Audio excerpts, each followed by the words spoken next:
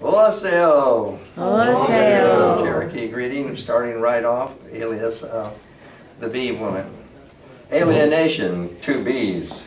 I came upon them in the cabin, the angry one at the window, and the old bent one on the bed. The one at the window buzzing and buzzing, beating its wings on the window, beating the pane. The one on the bed, the silent one with the bent frame, alone on the counterpane. I didn't mean to kill them, but the one in the window wouldn't be waved back to his hive. The door was open and he knew it, and flew in for a moment, and then flew back away from his community. Something had alienated him, and he would not go back. Or perhaps the wounded one in the bed who kept him. I tried to get him to fasten on to the crumpled page of a local news, but he would not.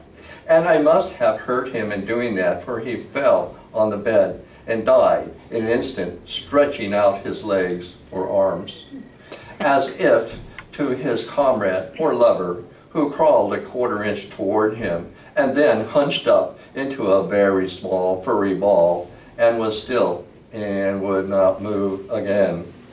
As all at once outside the hive hummed louder with a million mild conformists with wild antennas bent. Not one flew out to wake the dead. No messenger was sent.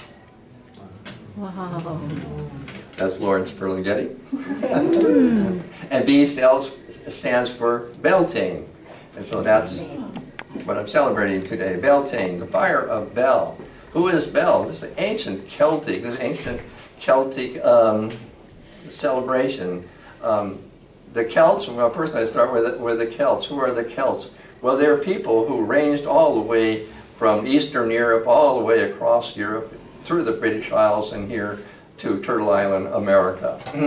uh, Celtic is, the, the name Celtic is a Greek rendering of the Gaelic Calde. Calde uh, means the woodlanders, and so indeed the middle portion of Europe and America are the woodlands. North of, of the woodlands are the uh, conifer forests, and they were occupied by a Samoy people or the Ugrit people who maybe have become the Scandinavians and so forth. Um, and that also the Celts are related to the Baeticarians of India, um, very much so. And Beltane mainly is the fire of Bel. In uh, uh, India, it would be um, the celebration of the fire deity Agni, you know, or Agni Stroba, you know, and there's, there's much in common. And in the language as well. The uh, Gaelic language is still carried on by people in the British Isles, mainly called the Irish Gaelic and Scots Gaelic. But many people throughout Europe are actually descendant from the earlier Celtic people there. And Bel, well, some think he's a god or something, but not so. He's more a quality, a quality of the sun.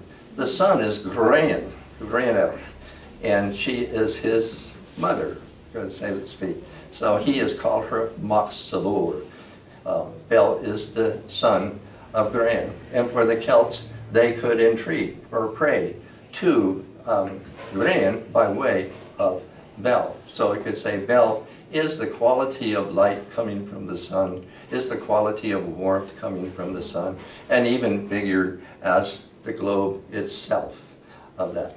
and very, very widespread was this veneration of Bel. And here in um, America, we call it Turtle Island, America, if we lift off all the redactions, we've been seeing a lot of redactions on the news, um, and to realize that uh, this country has been invaded and taken over lock, stock, and barrel by English, mainly the English.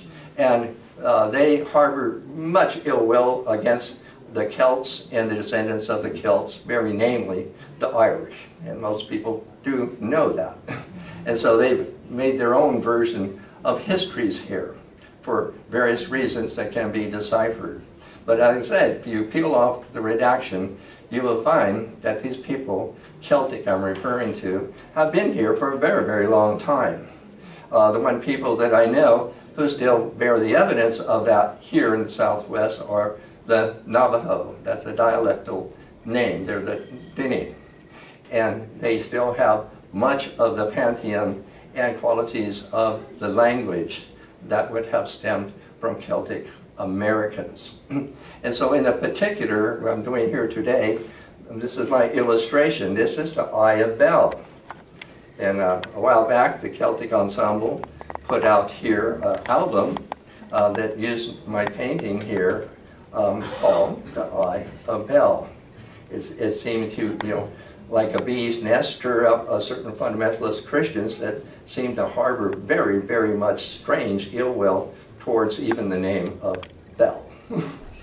but Bel began in India as Sua. Sua, Sua is the daughter of light.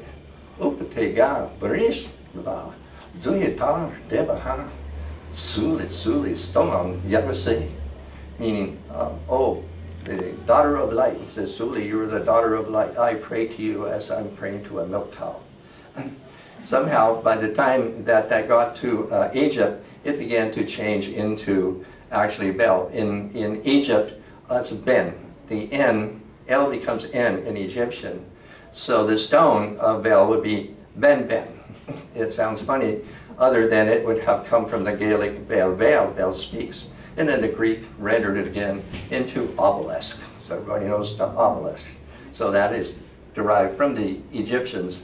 So it's the quality of light that was on the stone. In Egypt, they covered the stone with uh, gold, and they put inscriptions on it. So Bel speaks when, when the sun shines on it.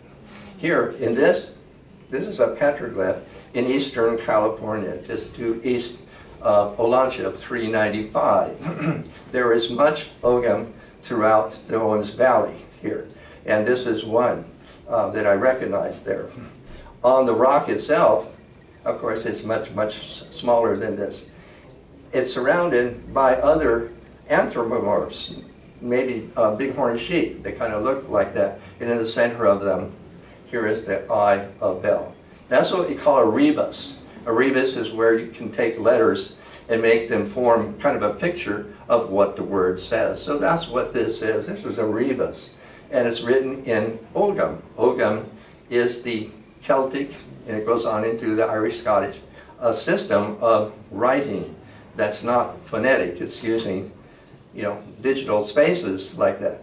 And it does start with B, B, B for Bel. So what we call alphabet for alphabeta, you know, is actually Beth Lois the first two letters are B, L, Lois, like that. So bees do have it.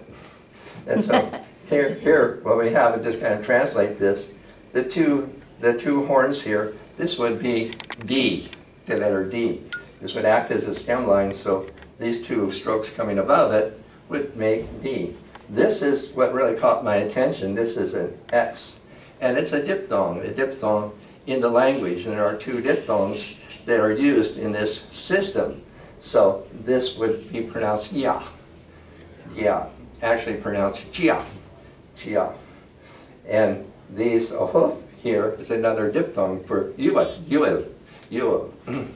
and the first stroke here is the B, and the two strokes here are the L. So it's saying chia, bel, yuel is all seen divine bell is all seen. And this was a standard for the Celts who would treat in any way um, bell, you know, to call upon it. You up there, you know, look at me down here. So all of this constitutes a real pervasive and standard um, concept, or whatever you want to call it, you know, of the ancient Celts here in America. And there's from coast to coast, north to south, are these Celtic writings, we can refer to that way, because they're all in the Gaelic and they're very legible and they're totally uh, understood in this system of Ogham. And, and so for my display here, I, I made a mock fire here for the fire. in, in the celebration, the druid, that's, you know, the, the uh, like the priest, that's the other thing, is that the, the Celtic people and the people in India have the same uh, tripart system of society. The warrior poets and the priest seers, the rishis and the druids, and the herds people, the sheep and the cattle. Uh, and that's what identifies that these are all of the same cultural people like that. so in, in, the, in the Celtic world, and this reportedly this, these were celebrated up until, you know, at least 100 years ago or so in, in Ireland. Um, the Druid, you know, in the old-fashioned way, you know, starts a fire and they build these bonfire like that. And for the cattle, they drive the cattle through the smoke and like that to uh, disinfect them, to, to get rid of the, the vermin. And people take it upon themselves, you know, to jump over the fire or run through the smoke.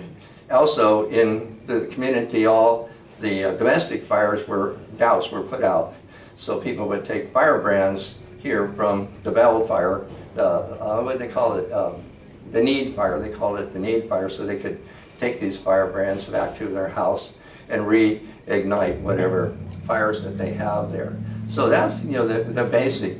Uh, in, in India, um, these ceremonies have continued in much more of a priestly way.